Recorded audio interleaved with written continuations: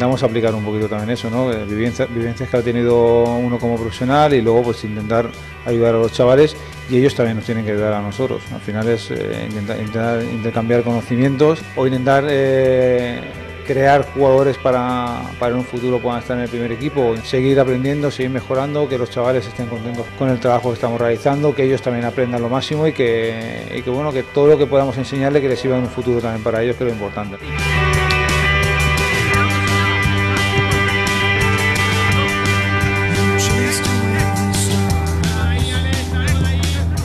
Hay una buena base del año pasado y confiamos mucho en que la gente que ha llegado mejorará lo que, lo que había. La exigencia es máxima y yo creo que el grupo es para las aspiraciones máximas. Todo lo que sea mejorar el fútbol base, pues al final es, es beneficio. En cuanto al trabajo con Curro, pues bien porque, bueno, nos conocemos ya de mucho tiempo. Los chavales quieren ganar la liga. Lo importante es que a final de temporada el jugador sea mejor.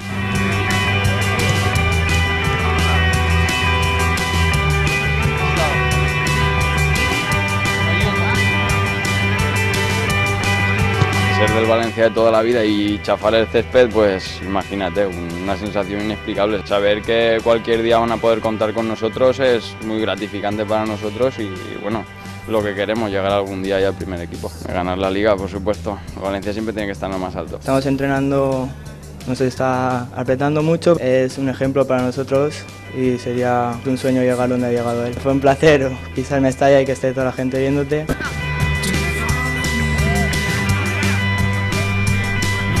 Intentar formar jugadores para juvenil y bueno, intentar hacer buena temporada. Nosotros tenemos mucha ilusión y los chavales pues se dan cuenta de que, de que tienen mucho interés en, en ellos.